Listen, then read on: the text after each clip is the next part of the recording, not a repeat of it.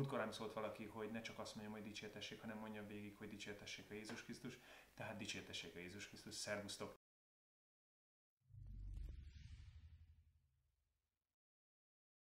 A mai napon a videó egy kicsit uh, nyugisabb hangvételű lesz, mert egy hete betegeskedek, a hangszakgyulladásom van, ezt mondjam?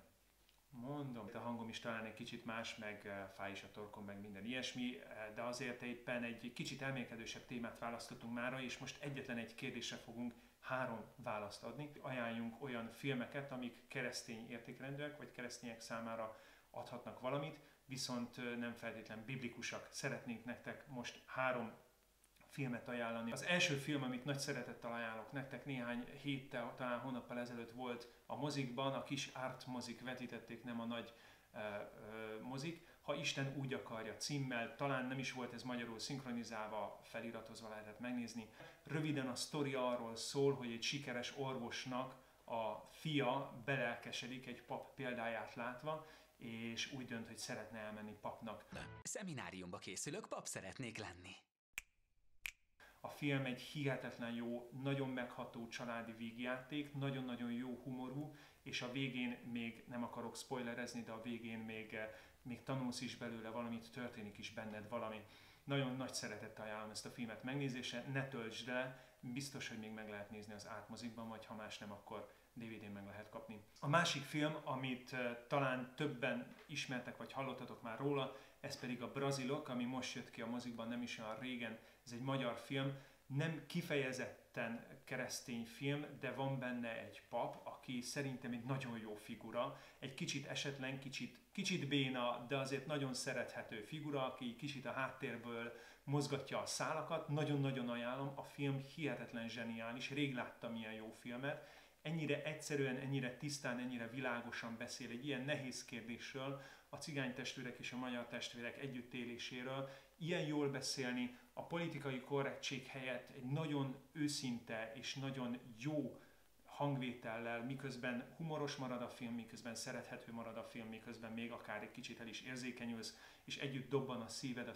szereplők szívével, nagyon-nagyon ajánlom, ez még megy a mozikba, mindenképpen menjetek el és nézzétek meg.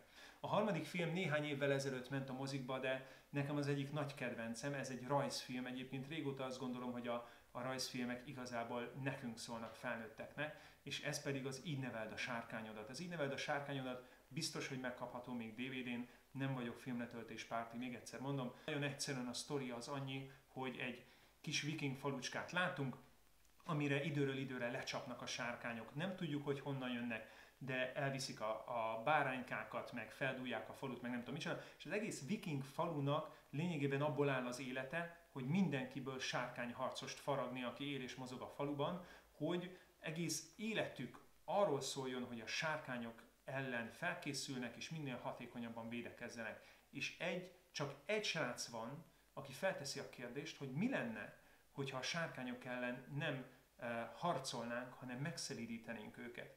Mindenki bolondnak tartja, de végül természetesen neki lesz igaza. És ez a film, ez annyira arról szól nekem, hogy mindannyiunk életében vannak sárkányok. Lelkivezetőként azt látom, hogy rengetegen küzdünk ilyenfajta sárkányokkal, ami legyen akár egy, egy rossz tulajdonságom, egy nehezen elfogadható része az életemnek, vagy egy nehéz kapcsolat, vagy bármi ilyesmi, ami sárkány az életemben. És ez a film ez arra tanít minket, hogy hogy nem biztos, hogy arról kell, hogy szóljon az életem, hogy, hogy foggal körömmel harcolok ellene. Lehet, hogy érdemes lenne megismernem, megszelídítenem, és megtanulnom együtt élni vele. És a film is végül is arra fut ki, hogy, hogy megszelídítik a sárkányokat, és akik kör, vagy azok a sárkányok, amik korábban az életüket fenyegették, utána az egekbe felviszik őket, mert mindannyian sárkánylovasok lesznek, és megszelídítik annyira a sárkányokat, hogy aztán utána tudnak velük repülni. És a, azt gondolom, hogy pontosan ez történhet a te életedben is, hogyha az, amivel mindig is hadakoztál, és itt most nem a bűnről beszélek nyilván, hanem ez egy életünknek egyéb sötétségeiről, nehézségeiről, meg tudod megismerni az életednek a sötét oldalát, elfogadni és új módon viszonyulni hozzá, akkor lehet, hogy te is az egekbe tudsz repülni általa ez a három film, amit most így hirtelen tudok nektek ajánlani. És kommenteljetek be nyugodtan a videó alá filmeket, amiket ti ajánlatok másoknak, vagy tegyetek fel filmekkel kapcsolatban kérdéseket. A 777 blogon járjatok moziba, nézzetek filmet, ez egy nagyon jó közösségi program, és olvassátok a Lumière Galaxis blogot. Sziasztok! One way, Jesus, you're the only one.